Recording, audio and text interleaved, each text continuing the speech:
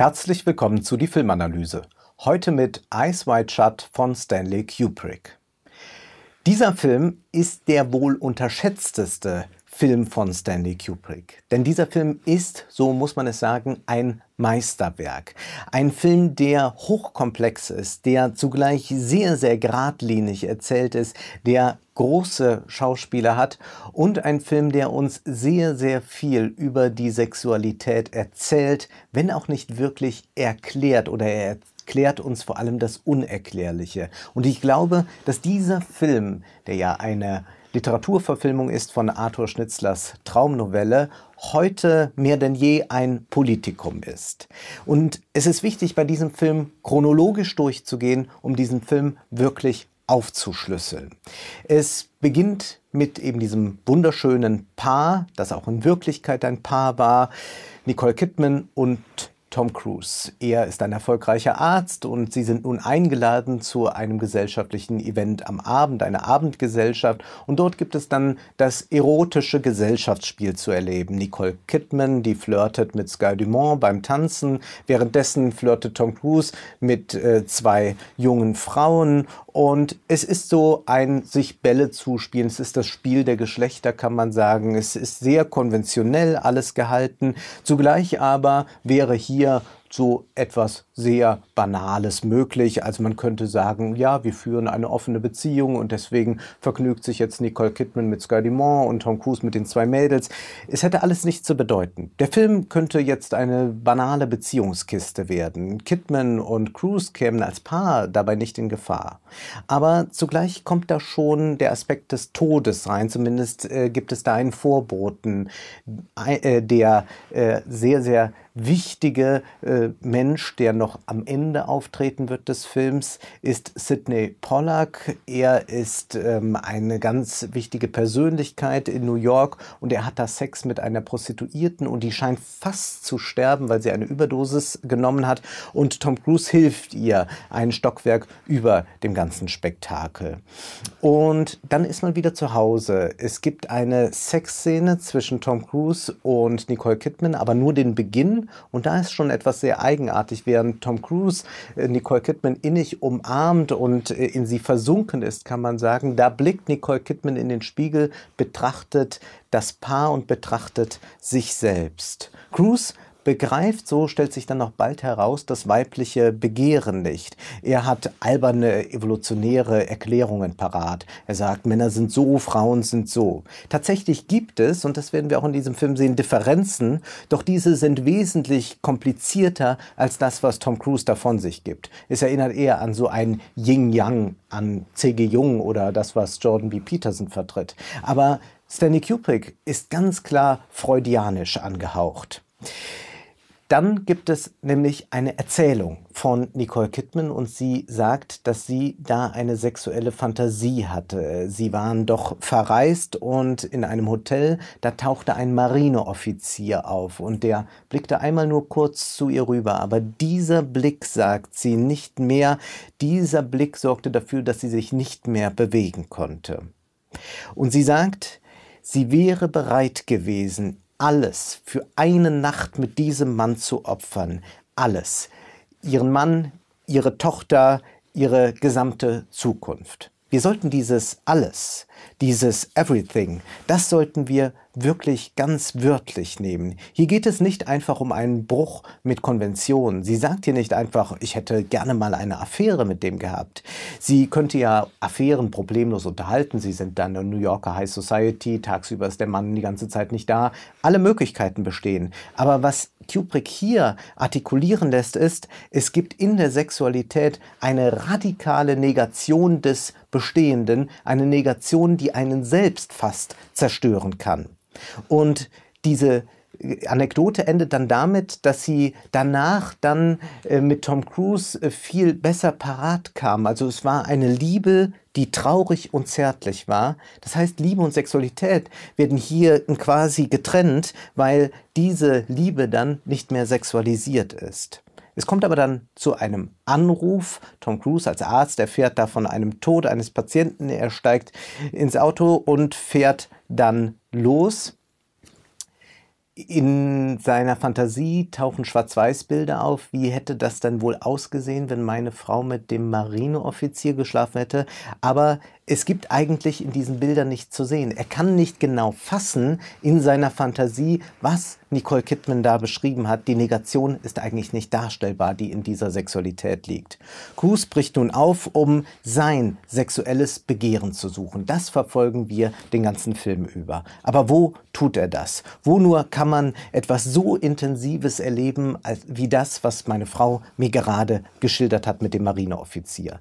Die erste Station führt ihn eben zu dem Sterbefall. Eine nicht so schöne, eine ältere Nicole Kidman-Version ist da. Sie ist, Tochter, ist die Tochter des Mannes, der da verstorben ist. Und es scheint so zu sein, erst der Tod des Vaters ermöglicht ihr jetzt das Begehren. Marianne sagt dann zu Tom Cruise, ich liebe sie so. Und Tom Cruise kann das gar nicht verstehen. Er sagt, wir beide kennen uns doch gar nicht. Aber eigentlich wird hier nochmal das ausbuchstabiert, was Nicole Kidman beschrieben hat. Eigentlich ist das nur nochmal das Verhältnis überkreuzt. Nun ist Tom Cruise so etwas wie der Marineoffizier und Sie weiß auch zugleich um die große Peinlichkeit, die in dem Geständnis liegt. Und sie sagt, sie dürfen mich nicht verachten. Und dann macht, Tom Cruise, äh, macht äh, Stanley Kubrick etwas Wunderbares. Er lässt eine Tom Cruise-Version noch eintreten. Es ist der Mann dieser Frau, ein nicht so attraktiver, etwas älterer Tom Cruise.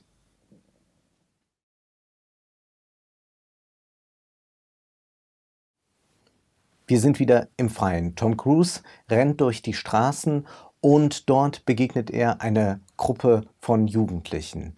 Und diese Gruppe erinnert nicht zufällig an Alex und seine Droogs aus A Clockwork Orange. Das war auch schon eine verunsicherte Männlichkeit und diese ist jetzt umgeschlagen in Homophobie, homophobe Angriffe muss dann Tom Cruise über sich ergehen lassen. Jetzt gibt es den zweiten Anlauf. Er trifft eine Prostituierte. Sie ist quasi die vulgäre Nicole Kidman-Version. Wollen wir uns das ein bisschen nett machen, fragt sie. Er kommt dann mit zu ihr. Es sind eher ärmliche Verhältnisse. Tom Cruise ist hier in einer fremden Welt, aber er vermag diese fremde Welt nicht mit einer exotischen, erotischen Fantasie aufzuladen. Er fragt dann, was würden Sie mir denn jetzt empfehlen, also welche sexuellen Dienste? Und sie antwortet sehr klug, ich will es nicht in Worte fassen. Sehr klug, da das Eigentliche selbstverständlich unaussprechlich ist. Das heißt nicht, dass irgendetwas, wenn wir sagen, man kann es nicht in Worte fassen, einfach verschweigen, sondern sondern es kann gar nicht gesagt werden, weil sich das Sexuelle auch immer der Sprache entzieht. Die Sprache kann das Sexuelle nicht, so, äh, nicht vollkommen abbilden.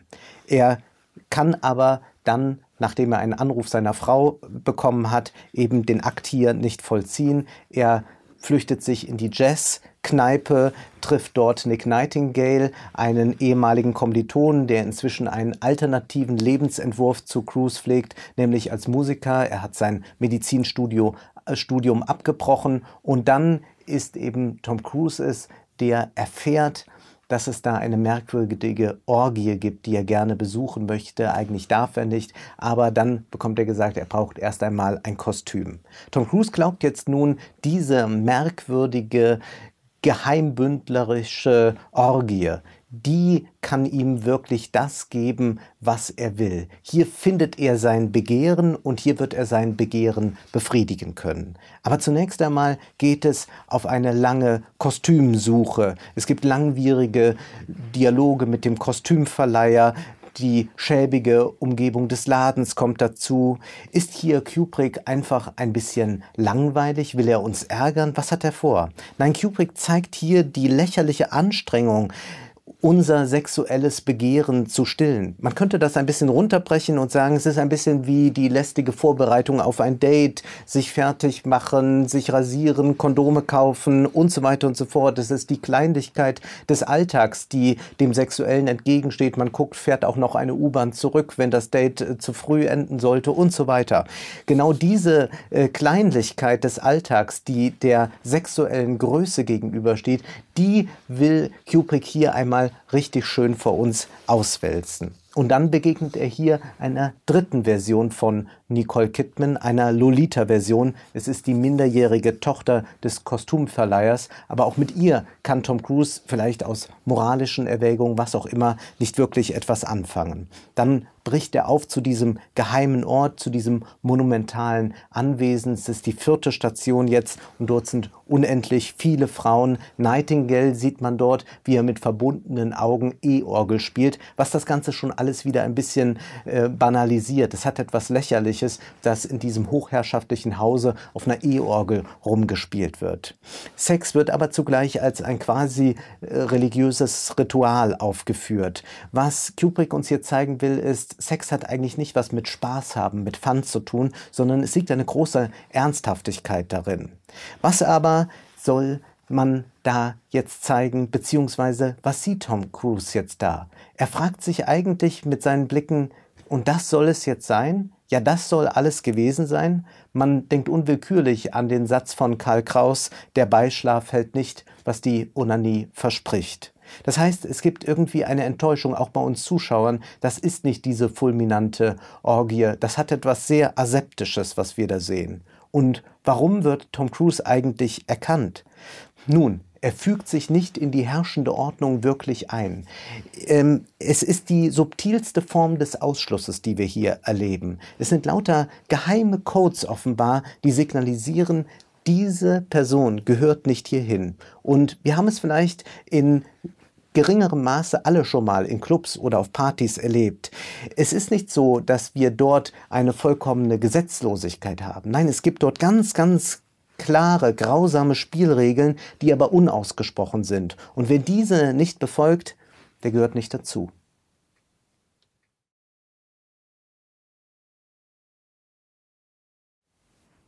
Nach diesem traumatischen Ereignis bei der Orgie eine Frau hat sich für ihn geopfert, damit er überhaupt dort wieder fort kann, ist Tom Cruise zurück in seiner Wohnung. Seine Frau erzählt ihm dann von einem erotischen Traum. Sie will ihn demütigen. Wieder ist der Marineoffizier aufgetreten und sie hatte Sex mit unendlich vielen Männern. Das Erträumte scheint hier viel intensiver zu sein als das, was Tom Cruise in der Wirklichkeit erlebt hat. Am nächsten Tag geht die Suche nach dem Begehren weiter. Es ist eine diffuse Geschichte um Nightingale, die äh, Tom Cruise dann erst einmal verfolgen muss. Er ist dann wieder bei dem Kostümverleiher, bekommt die junge Tochter jetzt ganz direkt, ganz explizit offeriert. Dann ist er wieder auf dem Weg in die Praxis. Die Handlung ist jetzt etwas chaotischer. Sie ist nicht mehr so geordnet. Die Stationen haben sich jetzt ein bisschen verdreht. Das will Kubrick uns zeigen, wie chaotisch eigentlich die Sexualität ist. Und Tom Cruise sitzt dann in der Praxis und er kommt dann auf die Idee, dass man jetzt noch einmal zurück zum Anwesen kann. Das Tor aber, wo die Orgie stattfand, das ist verschlossen. Bei Tageslicht sieht das Ganze schon etwas banaler aus. Nur ein merkwürdiger alter Herr überreicht ihm einen Brief, dass er nie wiederkommen soll. Er geht zurück zu Nicole Kidman. Er sieht sie dort beim Hausaufgabe machen mit der Tochter und jetzt bekommt er eine typische männliche Fantasie nicht zusammen. Zum einen sieht er hier die Mutter und zum anderen hört er aber die, äh, noch von der letzten Nacht die Beichte aus dem Traum, dass sie mit unendlich vielen Männern geschlafen hat. Also sich die Frau, die Ehefrau als Mutter und als sexuelles Wesen vorzustellen, fällt ihm nun plötzlich unendlich schwer. Er bricht wieder auf in die Praxis und dort überlegt er, ob er jetzt einmal doch die ältere Version von Nicole Kidman anruft, äh, die ja nicht mehr so sehr um den Vater vermutlich trauert. Jetzt könnte er sich ihrer annehmen. Er ruft an, aber wer hebt dann ab? Es ist der Ehemann, es ist quasi das alter Ego von Tom Cruise. Dann der letzte Versuch noch einmal zu der Prostituierten zurück. Aber die Prostituierte ist nicht da, sondern nur die Freundin, die auch eine Prostituierte ist. Und sie sagt ihm dann, als sie sich eigentlich schon näher kommen, dass sie ihm doch etwas mitteilen muss. Scheinbar, es könnte hier einmal wirklich klappen, dass sie jetzt Sex haben, dass er sein sexuelles Begehren hier gefunden hat und stillen kann. Er überredet sich geradezu dazu.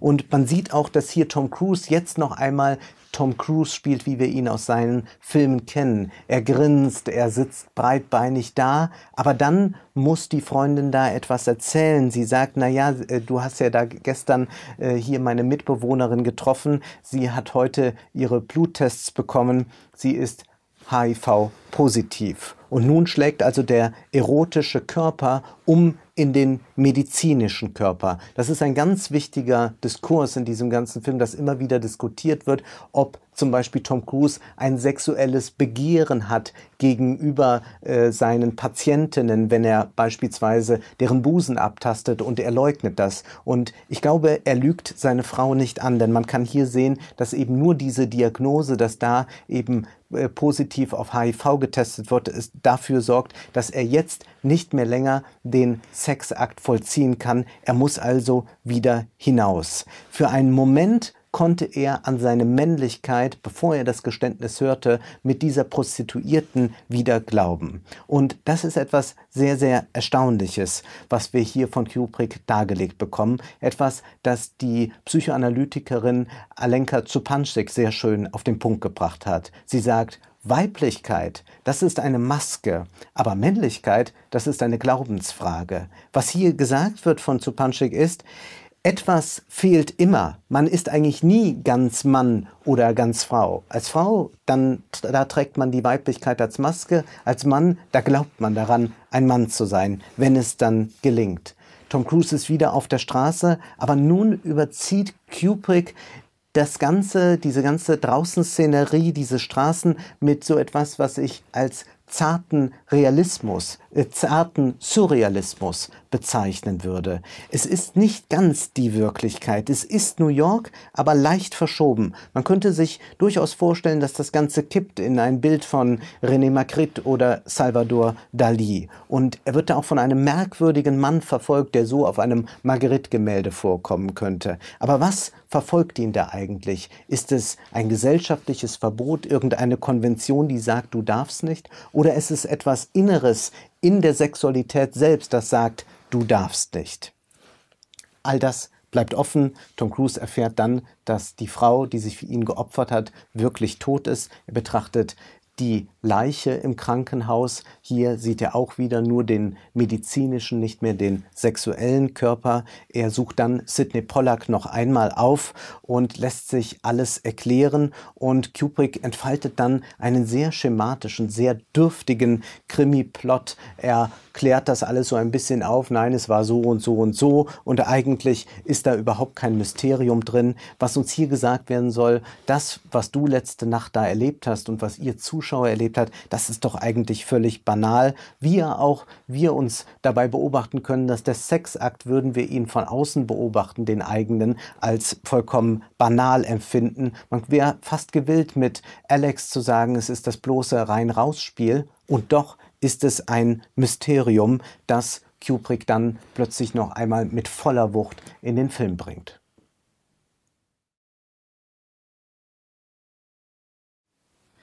Als Tom Cruise wieder zu Hause ankommt und er eigentlich in so einer postkoitalen Traurigkeit ist, dass das doch alles so nichts war, es ist alles so lapidar, da sieht er auf dem Kopfkissen neben seiner Frau die Maske, die Maske von der Orgie, die er nicht mehr finden konnte. Wie kommt die Maske dahin? Kubrick erklärt es natürlich nicht. Alles zuvor Erfahrene, gerade die Erklärungen von Pollack, alles wird damit wieder negiert. Es ist die Durchkreuzung des Rationalen. Das symbolisiert die Maske. Die Sexualität bleibt, will uns Kubrick sagen, ein großes Rätsel. White Shut ist ein Film über die Kompliziertheit des Begehrens und über die Unmöglichkeit, es ganz zu stillen. Immer ist da irgendetwas im Wege, immer stört irgendetwas. Und das Schlimmste, wir wissen oft gar nicht genau, was wir begehren sollen, was wir begehren wollen. Ja, es ist so, dass man heute ständig diesen Diskurs hat, man muss mal artikulieren, was man wirklich will, man muss seine Bedürfnisse, sein Verlangen artikulieren. Natürlich kann man konkrete Wünsche äußern, ich würde mal gern mit zwei, drei, vieren oder mal so und so und so. Aber damit ist eigentlich nicht alles gesagt, ganz im Gegenteil. Was Kubrick hier tut, ist heute mehr denn je politischer Sprengstoff. Kubrick verteidigt die Psychoanalyse, nach Freud und mit ihr den Sex als etwas nicht aufzulösendes und nicht ganz erklärbares, nicht aufzulösen in Liberalisierung und Historisierung. Der Text von Schnitzler ist von 1925. Er spielt aber um 1900, aber auch nicht so ganz. Und nun ist das Ganze verlegt in die 90er Jahre. Ja, geht das überhaupt? Der Co-Drehbuchautor von Kubrick, der war entsetzt und sagte, die Geschlechterverhältnisse hätten sich doch äh, ganz, ganz geändert. Und Kubrick sagte, wirklich? Also er hätte nicht den Eindruck. Was hier deutlich wird, ist der heute vorherrschende Diskurs über Sex, der meint, wir müssen die bürgerlichen Moralvorstellungen überwinden. Wenn wir für uns für alles offen zeigen, dann werden wir befreite Sexualität erleben. Wir haben es eigentlich immer nur mit historischen Konstrukten zu tun. Wenn wir diese als Konstrukte erkennen, dann können wir uns davon befreien und dann können wir wirklich die Sexualität im vollen Umfange genießen. Dem widerspricht aber die progressive Psychoanalyse, zum Beispiel die Psychoanalytikerin Alenka Czupanczyk in ihrem herausragenden Buch Was ist Sex? Sie sagt, es gab natürlich die Ablehnung der Konservativen gegenüber der Psychoanalyse, der Moralapostel, die sagen, wir wollen das alles nicht so wissen. Aber sie sagt, diese Form des Widerstands gegen die Psychoanalyse, die sich über ihre Obsession mit schmutzigem Zeug entrüstete, war nie die stärkste und wurde vom voranschreitenden moralischen Liberalismus sehr schnell marginalisiert. Viel verstörender war die These vom immer problematischen und ontologisch unsicheren Charakter der Sexualität selbst. Den Viktorianern, die Sex ist schmutzig riefen, antwortete Freud nicht etwa Nein, er ist nicht schmutzig, er ist nur natürlich, sondern so etwas wie Was ist der Sex, von dem ihr sprecht? Die Psychoanalyse kann nämlich genau das gar nicht so genau beantworten und das ist das wirklich Verstörende. Klar, wir können sexuelle Praktiken benennen, artikulieren, alles gut schön, aber der Skandal der Psychoanalyse liegt in etwas anderem, nämlich darin, dass man die Sexualität nicht einfach mal so liberalisieren kann und dann ist man befreit und zugleich kann man auch nicht sagen, Sex ist gar nicht so wichtig. Zupanzig schreibt, beide Möglichkeiten, nämlich die gerade geschilderten, lassen keinen Raum für die Psychoanalyse, weil die Psychoanalyse die Unmöglichkeit vollständiger sexueller Befriedigung, und zwar in der Abwesenheit aller äußeren Hindernisse, als konstitutiven und integralen Teil der unbewussten Sexualität als solcher betrachtet. Das heißt also, in der Abwesenheit äußerer Hindernisse, also wo eigentlich jetzt die moralischen Konventionen oder so schon keine Rolle mehr spielen, da ist es eben die Unmöglichkeit vollständiger sexueller Befriedigung als konstitutiver und integraler Teil der unbewussten Sexualität als solcher. Und genau das ist es. Dieses zu schildern ist es, was Kubrick hier in Ice White Shut unternimmt. Und das ist wirklich ein gigantisches Unterfangen, das ihm aber tatsächlich glückt. Und es ist eine geniale Idee, Tom Cruise zu besetzen, weil Tom Cruise immer als der sonst inszeniert wird, der alle, der alles haben kann und es hier eben nicht bekommt, weil er noch nicht mal genau weiß, was er haben will. Und es ist eine geniale Idee, dieses Traumpaar von damals zu nehmen, weil die Boulevardpresse natürlich sagt, klar, das ist doch wirklich die Fantasie, wenn sie Realität wird, wie gigantisch muss das sein, so ein schönes Paar. Und Kubrick zeigt, selbst wenn man Tom Cruise und Nicole Kidman ist, selbst wenn man zusammen ist, dann ist das große sexuelle Problem damit nicht gelöst. Und dann gibt es noch diesen rätselhaften Titel, Eyes Wide Shut, die Augen weit geschlossen. Sehen und Nichtsehen fallen hier zusammen. Und das gilt eben für die Sexualität. Wir verschließen die Augen, um den anderen wirklich sehen zu können. Oder wir sehen in den Spiegel wie Nicole Kidman, damit wir uns und nicht den anderen betrachten müssen. Aber gilt eben dieses Eyes Wide Shut nicht auch für das Kino? Wir gehen ins Kino, verschließen vor der Wirklichkeit da draußen die Augen, um sie durch die Fiktion auf der Leinwand sehen zu können, damit wir nicht nur schauen, sondern sehen.